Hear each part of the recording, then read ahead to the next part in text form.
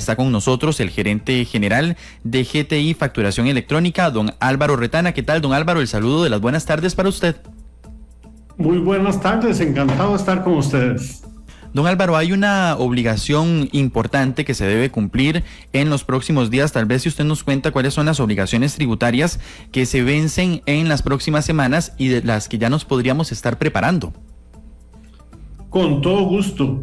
Ahora tenemos un pequeño descanso este par de semanas porque lo que sigue sería el miércoles 15 de noviembre que tenemos este, los próximos compromisos de la declaración y el pago del impuesto al valor agregado y los impuestos de renta a capital, eh, tanto capital mobiliario como inmobiliario, para los que tienen alquileres de oficinas, de casas de habitación o alquileres de equipo de dinero, tocan esos pagos de renta.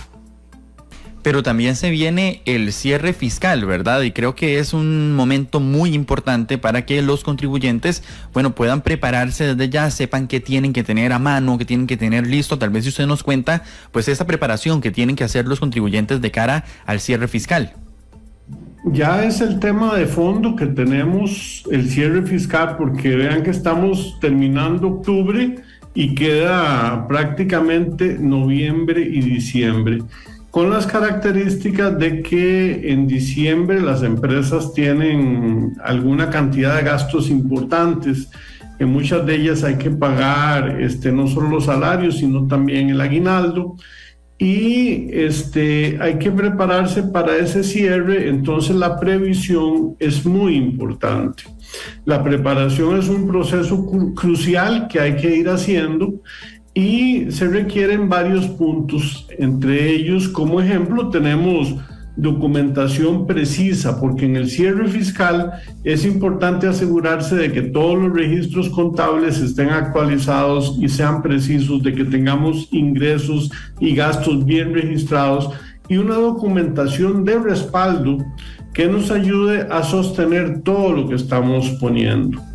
Además es importante el conocimiento de las leyes fiscales. Hay que estar al tanto de las leyes porque hay modificaciones de las leyes que pueden ser aplicables a la situación que tenemos.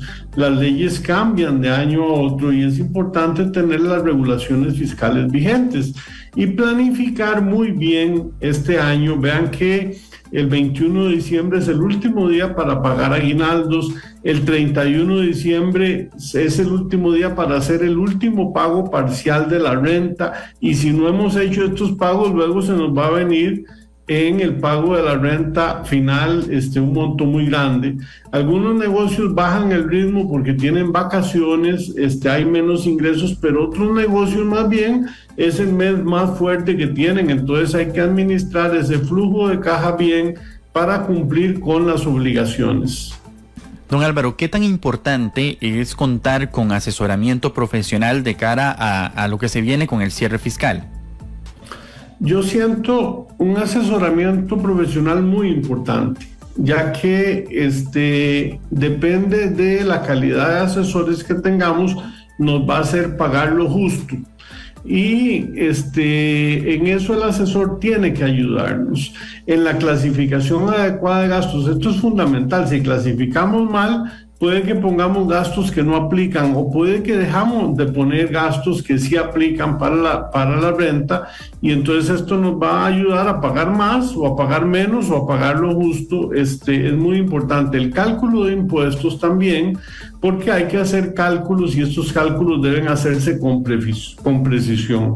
Entonces un profesional que sea este, competente en ese tema va a asegurarse de que los cálculos se hagan adecuadamente, que se cumplan los plazos, de que tengan una revisión y que no vayamos a tener que pagar multas al hacer el cierre fiscal en forma inadecuada. Claro, pero también GTI está haciendo una recomendación ahora que viene el cierre fiscal de implementar Quede Claro para iniciar el año. Usted tal vez nos cuenta, bueno, qué es Quede Claro, de qué se trata esta herramienta, cómo la puedo descargar, cuáles son las facilidades que nos puede dar una herramienta como Quede Claro.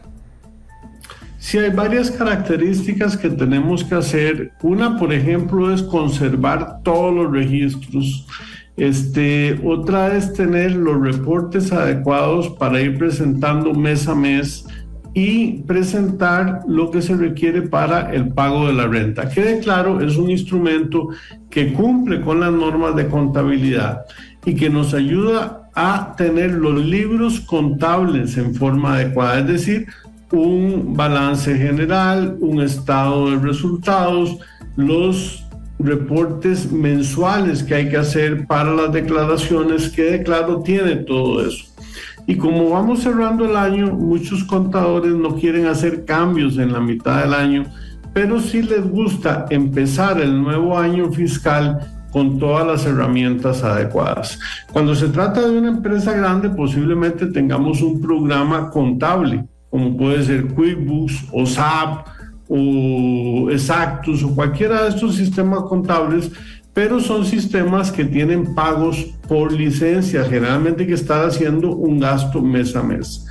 Con quede claro, es un sistema más pequeño, mucho más económico y ayuda entonces a llevar la contabilidad para ese tipo de empresas en las que no merece pagar lo que significa un sistema de contabilidad grande que, que sí es bueno para empresas donde tenemos contadores y auxiliares de contabilidad y movimiento grande, pero para empresas medianas, empresas pequeñas, quede claro, es una herramienta contable suficiente para poder, ah, con la ayuda del contador, llevar toda la contabilidad en orden.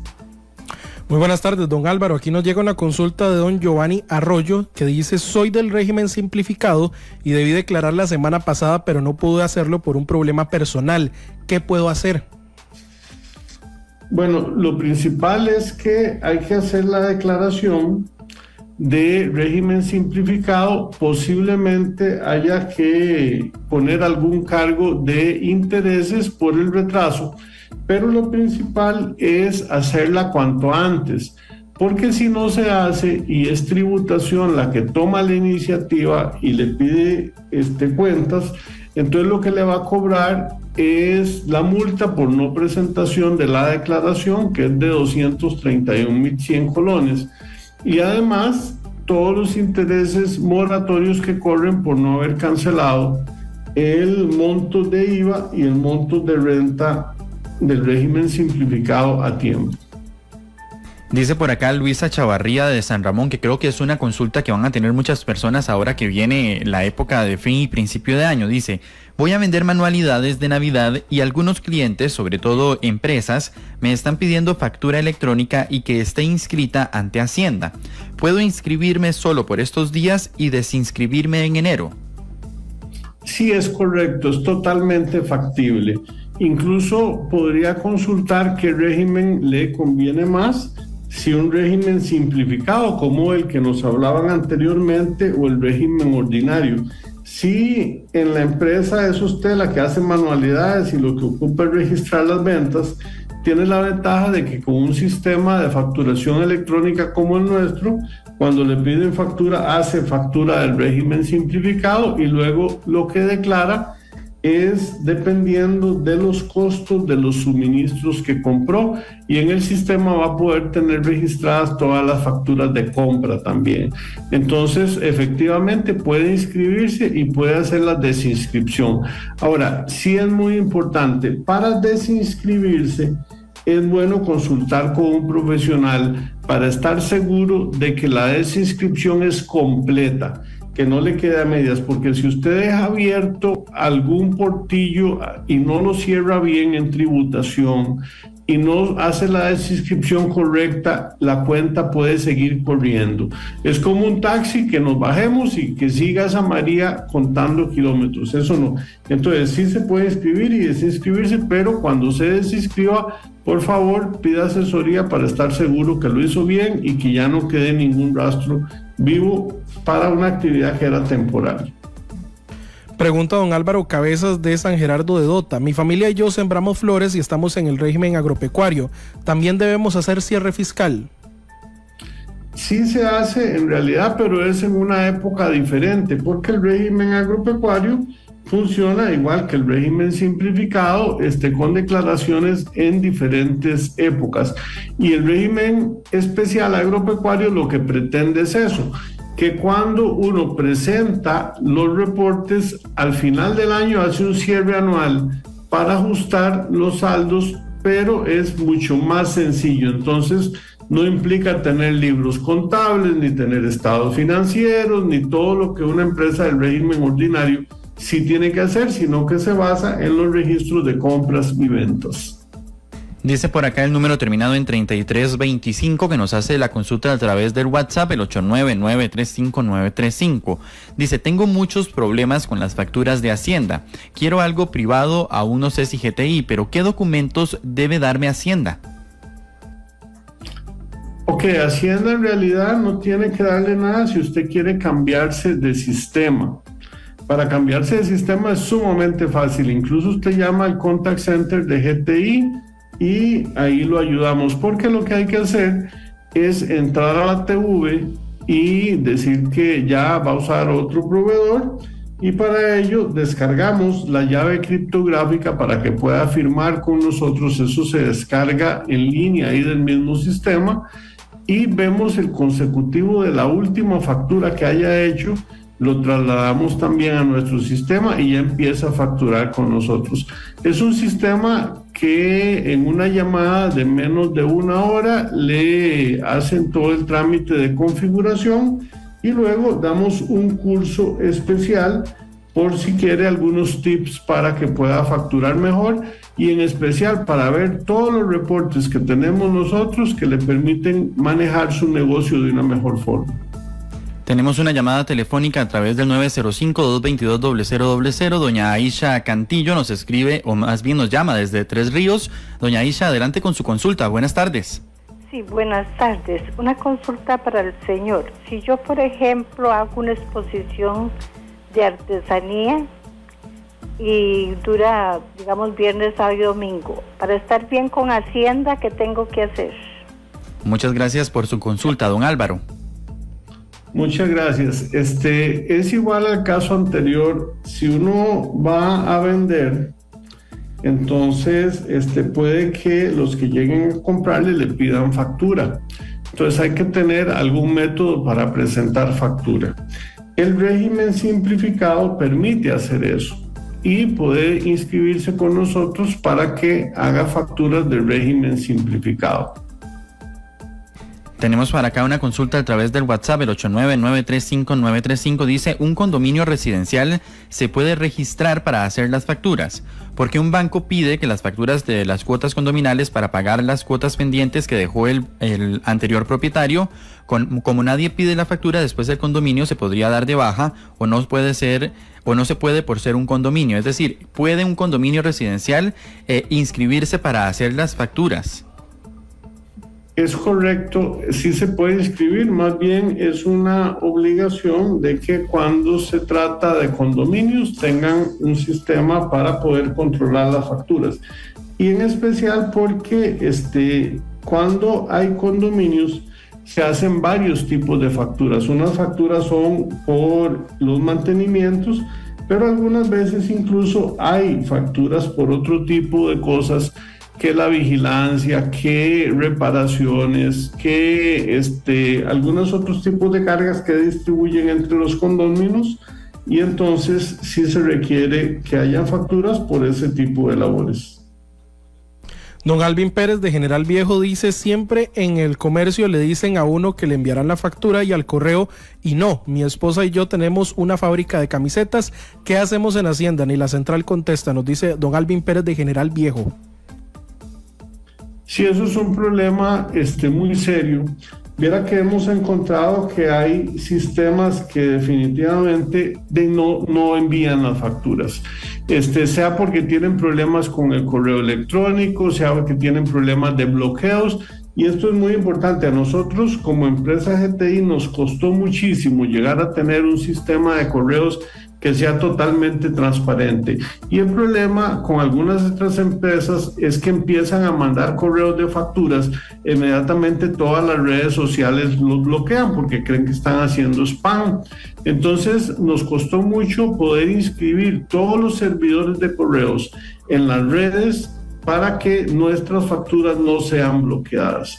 Este, cuesta muchísimo y usted necesita registrar los suministros para poder meterlos en la contabilidad y si no le mandan una factura simplemente eso no se puede y toca ir y pedir que se le impriman y demás. Entonces, revisar bien con quién está facturando esa gente porque son sistemas que no son confiables. Don Álvaro, tal vez si usted nos comenta así rápidamente cuáles son las multas que, a las que se exponen los contribuyentes por incumplir con la presentación de declaraciones, pero también por no emitir la facturación electrónica. Por no presentar una declaración son 231.100 colones por cada declaración y estas se van acumulando según el número de declaraciones. Por factura electrónica, cuando no se emite, la multa es mucho más alta, es de 924 mil colones si no emiten una factura electrónica. Entonces vean el riesgo de que alguien este, vaya y los denuncie de que no están emitiendo factura y les hagan las pruebas de que no lo hicieron. Son casi un millón de colones, 924 mil 400 colones de multa. Don Álvaro, también ustedes tienen una campaña que se llama Juntos Llegamos a la Meta a favor de Fundeso. Tal vez si nos cuenta sobre esta campaña. Bueno, muy contentos en este mes de octubre de estar apoyando todo lo que es el cáncer de mama y efectivamente entre las personas que adquieren nuestros productos vamos haciendo un fondo con una porción de cada uno de esos ingresos para poder hacer una donación que ayude a el cáncer de mama. Y en este, en este año estamos trabajando junto con Fundeso para hacerles a ellos la donación, así que bienvenidos todos los que quieran colaborar. Recordar también, don Álvaro, que GTI capacita sin costo alguno 24/7. ¿Usted nos recuerda cuáles son esos canales en los que podemos solicitar esta capacitación? Sí, la capacitación es muy importante porque todo este tipo de preguntas que nos llegan por radio pueden solventarla en las capacitaciones. Para coordinar es en el 2105-4400, 2105-4400 o al WhatsApp 6128-6044 y ahí coordinan para recibir la capacitación. Muchas gracias a don Álvaro Retana, gerente general de GTI Facturación Electrónica. Cerramos de esta forma la sección.